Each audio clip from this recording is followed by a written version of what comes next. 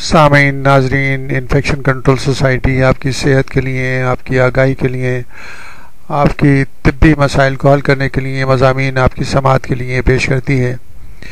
बच्चों के मसाइल के बारे में काफ़ी मजामी आपकी समात के लिए पेश किए गए शीर खार बच्चों के दांत निकलने में तकलीफ़। एक दवा के इस्तेमाल में एहतियात का मशवरा दिया जाता है। उसके बारे में हम आपको मालूम देना चाहेंगे कि किस तरह बच्चों के मसाइल पैदा हो सकते हैं मुख्तलिफ़ मेडिसन के इस्तेमाल करने से। गज़ा और अद्वियात के इस्तेमाल पर नज़र रखने वाले अमरीकी इदारे फ़ूड एंड ड्रग एडमिनिस्ट्रेशन ने कहा है कि शीरख्वार बच्चों के दांत निकलने की तकलीफ़ के इलाज में बेंजोकेन के इस्तेमाल से गुरेज किया जाए। अगर इसका इस्तेमाल बहुत ही नागजीर हो तो डॉक्टरों की निगरानी में इसे इस्तेमाल करवाया जाए। वाजह है कि बेंजोकेन लोकल एनेस्थेटिक है, यानी कि ये केमिकल जहाँ इस्तेमाल किया जाता है, जिसम का वो हिस्सा बेहिस या सुन हो जाता है। बच्चों के दांत की तकलीफ़ में उन्हें आराम पहुँचाने के लिए किसी डॉक्टरी नुस्खे या बगैर फार्मेसी में खुले आम बहुत सी ऐसी दवाएँ फरोख्त हो रही हैं, जिनमें बेंजोकिन भी शामिल होता है। कि दवाएँ मुख्तलिफ़ नामों से, मिसाल के तौर पर एन बी सॉल और जेल बेबी और जेल इस किस्म के मुख्तलिफ़ जेल और शरबत की सूरतों में दस्तियाब हैं। लेकिन शीरखारों में इसका इस्तेमाल ख़तरनाक हो सकता है, क्योंकि इसकी वजह से एक कमियाब, लेकिन तबाकुन तबी सूरत हाल से दो चार हो सकते हैं। जिसे मिथ हेमोग्लोबिनीमिया कहते हैं। मिथ हेमोग्लोबिनीमिया कहते हैं।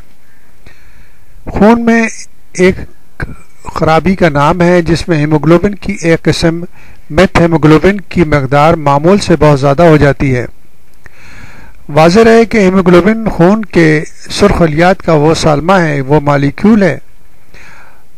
जो जिसम के एक खलिए को ऑक्सीजन, एक एक खलिए को ऑक्सीजन पहुंचाता है, जबकि मिथ हेमोग्लोबिन ऑक्सीजन की फ्राहमी के अमल में रुकावट डाल देता है।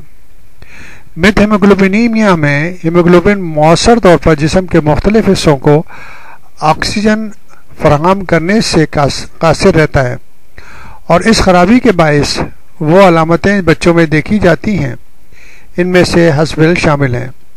मिसाल के तौर पर, जिस्मानी नशो नुमा में तखीर उछल कूद भाग दौड़ में अदम दिलचस्पी, जल्द की रंगत का नीला पड़ जाना, सर में दर्द, थकावट, सांस लेने में दुशारी कमज़ोरी, मस्कुरा वाला अलामतें बेंजोकेन के इस्तेमाल के चंद मिनट या चंद घंटों के अंदर भी ज़ाहिर होने लगती हैं।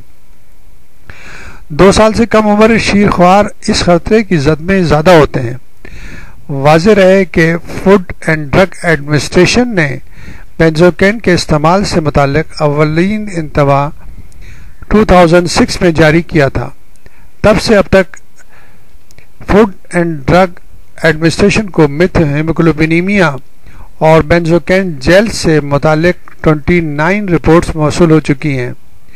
इनमें ज़्यादातर, यानी 19 वाक़ात बच्चों से मुतल थे और 15 बच्चे दो साल से कम उम्र थे।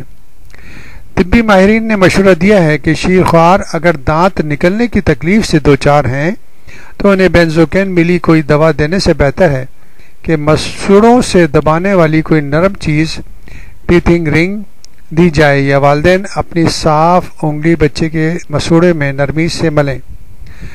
इस तरह उसकी कुछ तकलीफ़ दूर हो सकती है। तो अगर कोई दवा इस्तेमाल भी करनी है या मेडिसिन इस्तेमाल भी करनी है तो बेहतर यह है कि अच्छे पीडियाटिशन या बच्चों के डॉक्टर से मशवरा करके इस्तेमाल की जाए। क्योंकि ओवर द काउंटर जो मेडिसिन मिलती हैं, उसमें ये ख़तरा होता है कि उनके साइड इफ़ेक्ट के बारे में आम लोगों को या मेडिसिन सेल करने वाले अफराद को कुछ मालूम नहीं होती। और उसके क्या नतज निकलेंगे, क्या साइड इफ़ेक्ट होंगे, क्या नुकसानदेह असरात बच्चे की सेहत पे होंगे, ये कुछ अंदाज़ा नहीं होता।